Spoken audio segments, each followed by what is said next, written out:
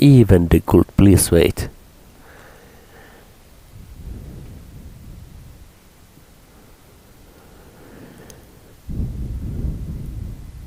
No niin, mä on, olen jo odottanut. Kiitos.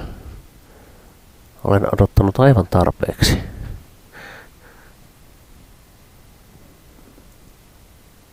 Mad Max 86. Ai että. Hei vaan ja tervetuloa jälleen vatkaamaan MSX. Vierelläni on MSX-mestari Manu. No, MSX ihminen ainakin. ja tämä, tässä nyt otettiin tämmöinen Mad Max-peli vuodelta 1986 ihan ylläri bonuksena, ei ole mitään aavistusta, mitä siellä on tulossa. Ja tämä ei ole, tämä ei ole Mad Max, jota odotin. Mä veikkaan, että tämä on jonkun Basicilla tekemä oma itse peli. Joo, sen siitä saa ja ei myöskään joystick-ohjaus toimi. Mennään nuolinäppäimillä ja... Toimii. Huh? Joo, siitä olisi pitänyt hypätä yli. Kauheen pitkä kuollon luritus. Hei, mä en tiedä millä komennolla saa tehtyä tuo mu- musiikki. no millä? Onko se ihan vaan, että play ja sitten pistää mitä nuottien, nuottien tota, kirjaimia, niin saa MSX Basicissa musaa. Huomaatko, tässä, tästähän on monimutkainen peli. Nämä ää, lattialla olevat liukuhihnat menevät vain yhteen suuntaan, joten pelaaja väistämättä kulkee niiden mukana. Onko joku kytki? On, siellä aukesi jotain jossain. Ja sitten uhkarohkea hyppy. Ei! Miksi? Se melkein... Mad Max? Niin Mad Max. Niin. Hullu Max. Joo, ja sitten takaisin ruudun alkuun ja minun pelaamiseni tästä pelistä riitti onko, tähän. Ole hyvä, Manu. Onkohan tota ollut tota... Minä vuonna tuli Mad Max-leffa? Kah- no 80-luvun alussa tuli ekat välilyödillä hyppää.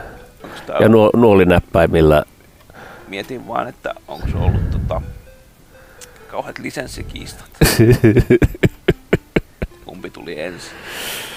Joo. Joo. Kyllä se taisi tulla aiemmin. Minähän, minähän olen suuri Mad Max elokuvien ystävä ja kun kohta on uusi Mad Max tulossa, niin siitähän minä tähän innostuin. Niin että. Joo.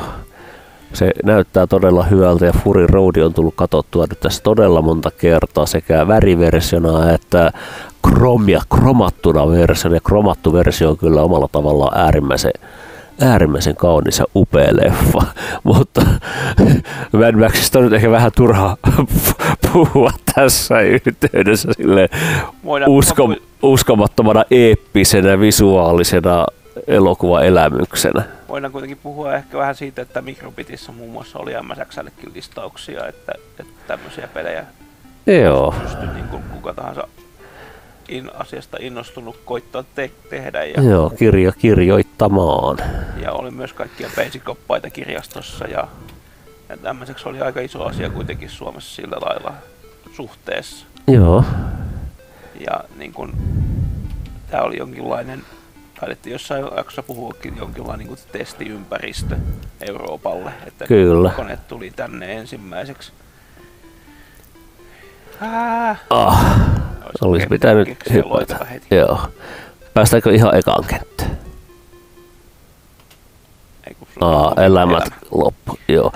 Mutta siis jos ajatellaan nyt sitä itse tekemisen puolta, niin eikö MSX ollut aika hyvä laite sellaista? Oli hyvä basic ja oli helppo tehdä ään, ääniasioita. Vaikka Joo. oli paska äänipiiri, niin pystyi kuitenkin lurittelemaan sillä verrattain helposti. Se, se oli just niin kuin taisin, tämänkin taisin jossain jaksossa mainita jo, että jos, jos meni kuusneppa kaverilla käymään, että pistä jo oma biisi, pistäkö vaikka Ukkonoa soimaan tuosta basicista, niin pokee jotain.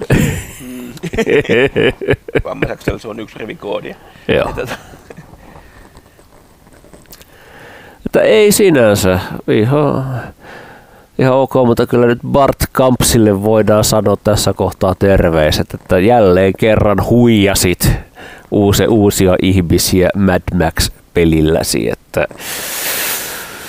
Että hienosti nimetty. Kiitos. Oletin, että kyllä MSXlle nyt joku M Mad Max-peli on varmasti silloin tehty. Kyllähän niitä muutama tehtiin 80-luvulla. Nessille tuli joku. No tossa just kattelin, kun tätäkään ei löytynyt tietenkään Mock Gamesista, kun tämä on joku oma, oma, oma julkaisu. Niin, niin se on vaan Nessille se. Joo. Se 80-luvun Mad Max. Joo, tulipa koettua tämäkin. Tuli koettua. Kannatti kokea.